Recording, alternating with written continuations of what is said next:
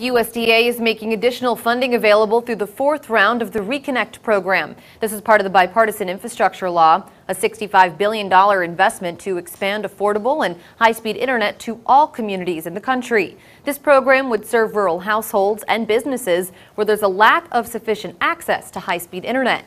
The department will be accepting applications starting September 6th.